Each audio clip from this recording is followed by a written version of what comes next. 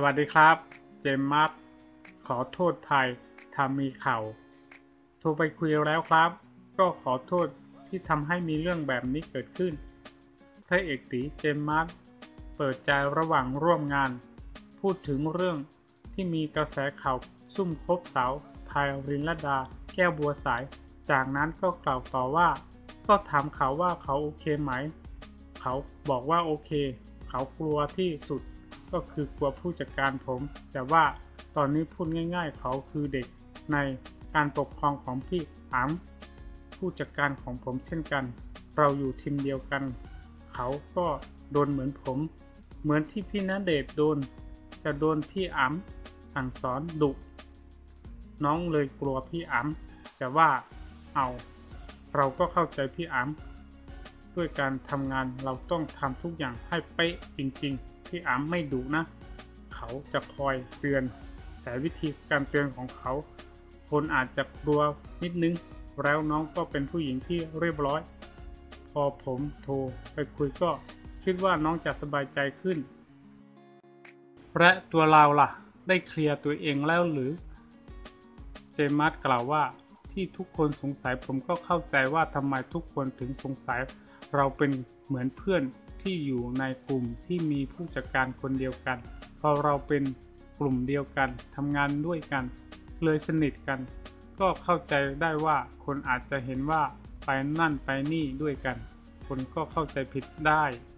ต่อไปจะเจอภัยจะลำบากมากขึ้นไหม ไม่ลำบากครับ เราทำทุกอย่างตามปกติมันต้องเจอกันอยู่แล้ว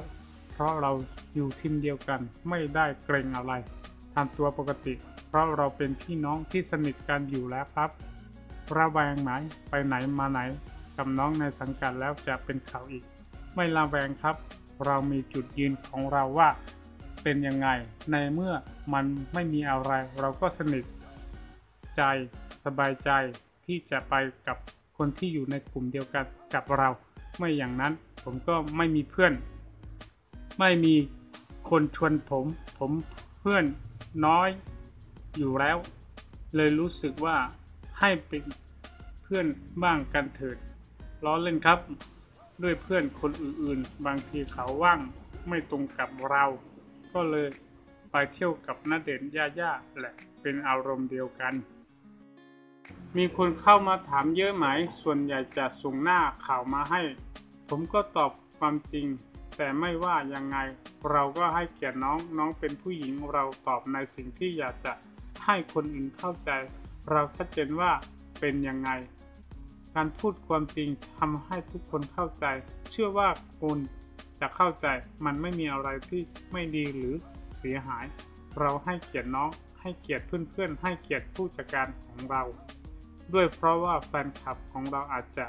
ไม่พร้อมเห็นเรามีแฟนด้วยไหม เรื่องแบบนี้เป็นความคิดของแต่ละท่าน ผมก็มีความคิดเป็นของตัวเอง ผมเชื่อว่ามันถึงเวลาทุกอย่างมันใช่ ทุกอย่างจะโอเคเอง และผมก็เชื่อว่าทุกคนเข้าใจว่าสุดท้ายแล้ว เราก็เป็นมนุษย์คนหนึ่ง ต้องมีชีวิตของเรา เพียงแต่ชีวิตของเรา อาจจะเดินทางไม่เหมือนคนอื่น อาจจะช้าหน่อย หรือว่ามีโลกส่วนตัวหน่อยเท่านั้นเอง แต่เราก็ happy กับชีวิตของเราที่เป็นแบบนี้ ถ้ามีตัวจริงจะเปิดตัวลำบากไหม จะกล้าเปิดตัวไหม ไม่ยากหรอก สมมุติถึงเวลาหนึ่งถ้าเราเจอใครสักคนมันก็คงมีหลายเรื่องที่เราต้องคุยต้องคิด มันไม่ใช่เรื่องอะไรที่น่าจะเป็นห่วง เพียงแต่ต้องดูจังหวะเวลาว่าจะพูดออกมาได้มากน้อยแค่ไหน แต่รักคู่ไม่เหมือนกัน มันเป็นเรื่องของคนสองคนครับ